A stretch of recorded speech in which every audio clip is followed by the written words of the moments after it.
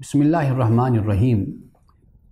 علامہ حسین بن محمد سمرکندی نے امام بخاری کی خوبیاں اور اوصاف کے بارے میں بتاتے ہوئے یہ کہا ہے کہ آپ میں بہت سی خوبیاں تھیں، لیکن تین خوبیاں ایسی تھیں کہ جو بہت ہی نمایاں تھیں۔ پہلی خوبی یہ تھی کہ آپ، وہ لوگ کہ جن کے پاس مال اور دولت ہے، آپ کو ان کی دولت اور ان کے مال سے کوئی بھی تعلق نہیں ہوتا تھا یعنی کوئی سروکار نہیں تھا۔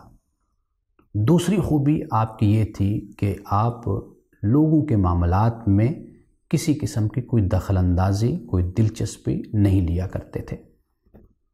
تیسری خوبی آپ کی یہ تھی کہ آپ کم گفتگو کیا کرتے تھے۔ علامہ حسین بن محمد سمرکندی کہتے ہیں کہ امام بخاری کی کاوشوں، کوششوں اور محنتوں کا مرکز اور محور صرف اور صرف علم تھا۔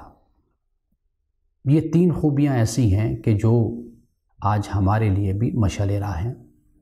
اہل علم کو، علماء کو اور دین سے تعلق رکھنے والوں کو ان تین خوبیوں کو یاد رکھنا چاہیے کہ پہلی خوبی کم گفتگو کرتے تھے، دوسری خوبی مال و ذر رکھنے والے جو لوگ تھے، ان سے کوئی تما اور کوئی لالچ اور کوئی حرص نہیں رکھتے تھے۔ تیسری خوبی یہ تھی کہ لوگوں کے معاملات سے ان کو کوئی سروکار نہیں تھا۔ ان کا مرکز و محور صرف اور صرف علم رہتا تھا۔ علم ہی ان کا اوڑھنا بچھونا تھا اور علم ہی ان کا دوست اور ان کا ساتھی تھا۔